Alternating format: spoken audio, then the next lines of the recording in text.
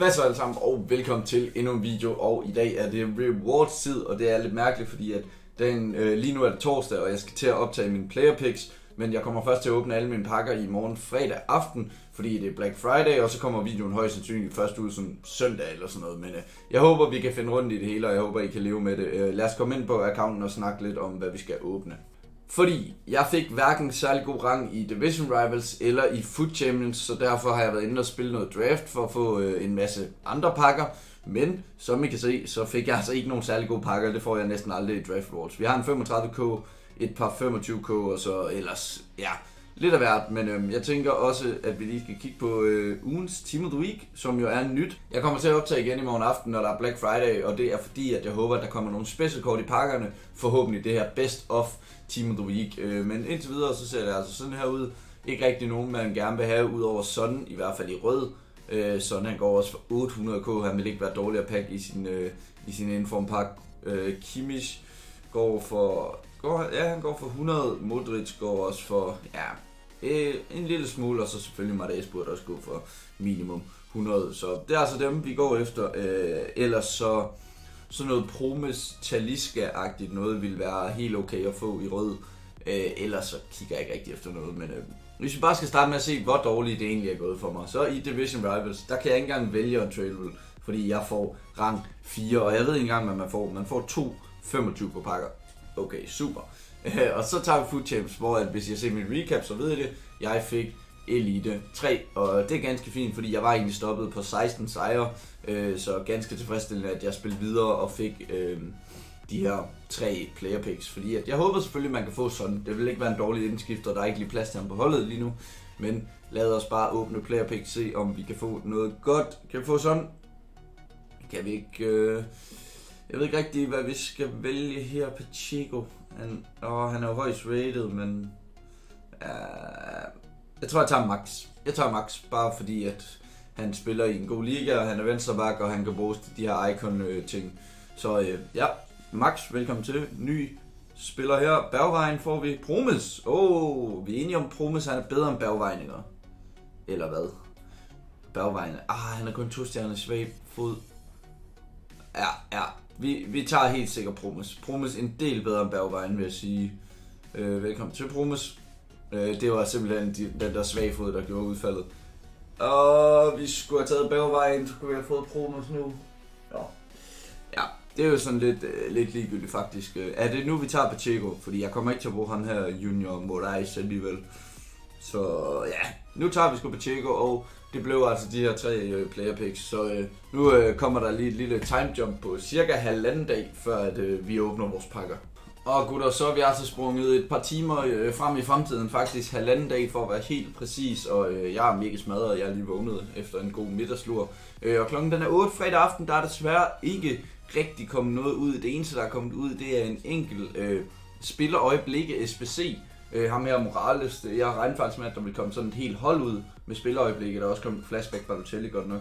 Øh, og så er der kommet det her øh, Team of the Week med alle, alle de bedste fra Team of the Week. Og det er jo præcis her er det.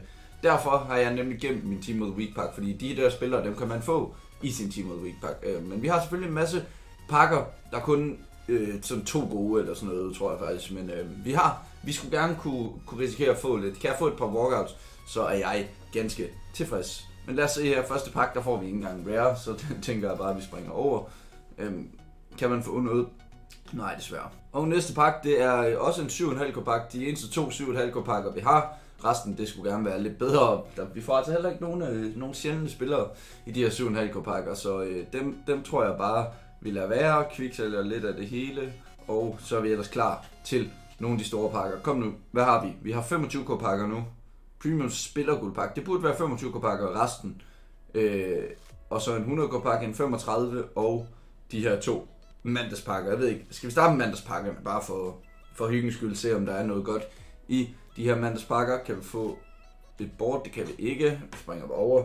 Lidt, øh, jeg, jeg må nok sige, at der er mange af de her pakker, hvor vi ikke kommer til at få board, og, og det undskylder jeg selvfølgelig, men øh, jeg håber, at det går. De her mandagspakker, de skal jo åbnes. Normalt så vil jeg gerne gemme dem til rewards. Øh, det har jeg ikke lige haft gjort de i forrige uger, men øhm, det har jeg altså gjort nu. Kan vi få det mindste et board i en af dem? Det kan vi ikke. Okay, tilbage til Øh, de normale pakker forhåbentlig et board på et eller andet tidspunkt. Giver mig selvfølgelig bare lidt af det her Mexico. Sender alle spillere til transferlisten, fordi vi vil gerne have solgt alle spillere. Nå, spiller guldpakker, premium spiller guldpakker, der skal vi have et board i, minimum. Det kunne være lækkert. Det bliver ikke her, desværre. og lidt hårde tider. Øhm, for en masse spillere dog, øh, så er det ikke sikkert, at jeg burde sende alt til min transferliste, fordi det er der sikkert ikke plads til, men øhm, kom nu med, med et board på et eller andet tidspunkt. Måske en walkout. Det kunne også være sjovt. Hvad siger vi her? Vi siger board, og vi siger ikke walkout, men øh, et board. Det tæller også. Er det øh, Jovic fra Real Madrid? Ja, okay, går ikke rigtig for noget mere, men øh, vi, vi kæmper os opad.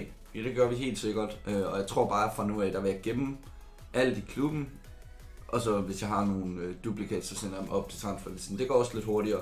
Stadig en hel masse 15k pakker inden, nej 25k pakker inden vi skal til 100k pakken og Team of the Week pakken, hvor der altså kan ligge noget rigtig godt. Igen får vi ikke, øh, ikke lige noget bort, men øh, ja, det er fint nok. De må komme på et eller andet tidspunkt. Det er det ikke de bedste pakker i hele verden får absolut intet, der går for noget. Øh, jeg har så ikke sagt, hvad, hvad, hvad jeg gerne vil have, hvad jeg skal bruge. I kan se, jeg har kun 100k, og det er altså til én spiller. Der mangler én spiller på mit hold, så skal der nok komme et squad billede en gang i næste uge, men øh, det er altså fordi, at jeg skal bruge et icon helst til, øh, til når jeg skal spille kval, og til den tid skal jeg selvfølgelig nok have fået råd. Men øh, lige nu ser det ikke ud til rigtigt, at jeg får råd til noget for absolut ingenting i de bakker her. Øh, de er også alle sammen på draft. Normalt så plejer jeg ikke at få noget i, i min draft rewards, men øh, syv pakker tilbage. Stadig ikke nogen walkouts, vi har kun fået et board. Øh, det kunne godt være bedre, lad os sige det på den måde. Øh, det her, det tror jeg heller ikke var et board, nej ikke den største succes indtil videre. Kan vi få i det mindste... Øh, pff, nej, Dembélé, Antunes, Seferovic.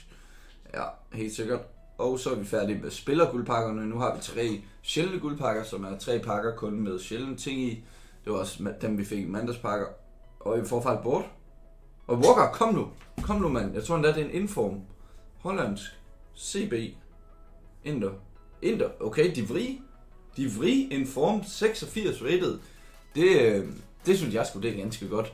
Jeg var lige, åh, da jeg så, det var inden for en walkout, der tænkte jeg, okay, har vi at gøre med en eller anden, øh, en eller anden fra det der best team of the week, men nej, desværre, det var det brig. Og lidt svært at spå om, hvad han går for, men øh, der kan selvfølgelig også ligge noget andet inde bagved. Øh, det finder vi ud af nu.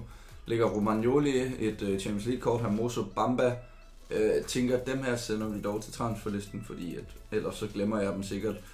Øh, yes, yes, yes, yes. Ganske udmærket. De Vri har ingen anelse om, hvad han går for, men øh, måske en lille smule. Endnu en sjælden guldpakke her. Kan vi få to boards, eller måske walkout til træk. For i hvert fald board. Nå, ikke walkout. Nå, så kommer et eller andet, der går for noget. Mexico, Lozano. Lozano er vist den eneste. Øh, Carlos Vela. Okay, det var ikke engang Lozano. Han er faktisk ikke board, tror jeg. Jeg tror, han er 82 rated. Men øh, Carlos Vela i klubben. Ganske udmærket. Kan vi få noget andet? Nej, som I kan se, så er det her altså heller ikke de aller, allerbedste pakker. Får tre sjældne, tre, imellem 3 og 4 sjældne spillere hver gang, hvilket jo selvfølgelig er fint nok. Men øh, ikke noget, hvor man skal sidde og håbe på hverken board eller walkout hver gang.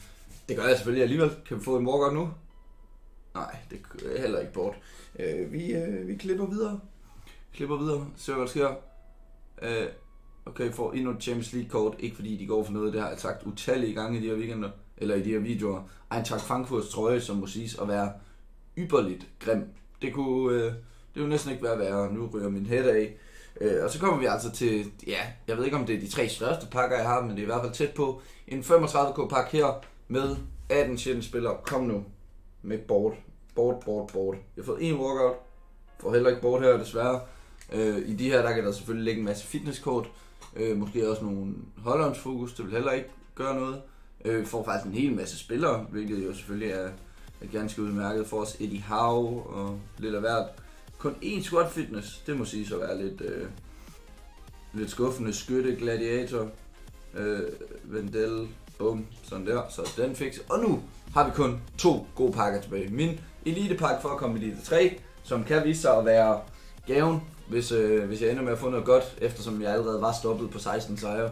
Øh, og så selvfølgelig en 100k pakke, hvor jeg håber, virkelig håber, vi får walkout. Så lad os tage 100k pakken først. Kom nu. Jeg burde have taget den anden først. Jeg burde faktisk have taget den anden først. Please. Det bliver ikke engang et board. Ej. Nej, nej, nej, nej. Det er jeg sgu ked af, gutter. Det er jeg sgu ked af, at de må sidde og, og se på det her. Meunier, prøv lige at overveje et godt kort der. Han har næsten 80 i alle stats. Han har kun over 80 i én stat, men han er også tæt på 80 i alle andre stats. Huha, øh, der er ikke noget, der kan redde den pakke her. Det kan vi lige så godt sige. Nej. Overhovedet ikke. Nu synes jeg godt, at vi kan fortjene noget godt i den anden pakke. Der er altså rigtig mange spillere. Der er en Mbappe, der er Messi, Ronaldo. Uh, jeg ved ikke engang, hvem der er, men der er så mange chancer for en god spiller i den her Premium Team of the Week pakke, fordi at det her Best of Team of the Week, det også tæller med. Så lad os nu bare åbne og se, om vi kan få noget godt. Kom nu. Jeg har ingen idé om flag, hvor vi kan blive trollet, hvad der kan komme. Jeg ved bare, at hvis vi får en walkout, så er der mulighed for det godt. Det gør vi. Kom nu. Holland, det er de igen. Nej, hvad? Det er Brumes, eller hvad? Bagvejen? Bagvejen? Okay, det er fra det her Team of the Week, så der er desværre ikke nogen, øh, ikke nogen Ronaldo, ikke nogen Messi, ikke nogen... Ja, okay, det, det må være fint. Det må, det må sige så være fint. Så lad os se, om der kan ligge noget inde bagved. Der kan selvfølgelig ligge en Benjetter. Det gør der ikke. Desværre ikke nogen for det her gode Team of the Week, øh, men øh, tænker, Bagvejen, burde han ikke gå for et eller andet 20k? Så ud til, at han går for 20k plus, øh, så vi har nok tjent omkring 100k i det hele på den her packåbning. Øh, ikke, ikke det bedste, men vi må se, hvad vi kan gøre med det.